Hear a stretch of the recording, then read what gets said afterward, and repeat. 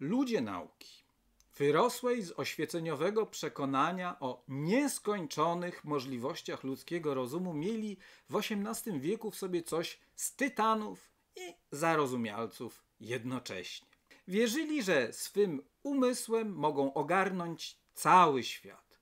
Oczywiście w jakiejś dziedzinie, ale zawsze. Johann Christian Daniel von Schreber postanowił w swej wielotomowej książce przedstawić wszystkie ssaki świata i stworzyć dzieło takie jak Linneusz w dziedzinie roślin. W dzisiejszych czasach byłoby to przedsięwzięcie przekraczające siły jednej osoby, choć zapewne możliwe. W owych czasach jednak wiara w rozum ogarniający wszystko na lądzie, w wodzie i powietrzu była przemożna. Schreber był znaną postacią świata nauki swej doby. Prezydentem niemieckiego Towarzystwa Naukowego Leopoldina i innych, profesorem uniwersyteckim, wreszcie też autorem wielkiego dzieła entomologicznego.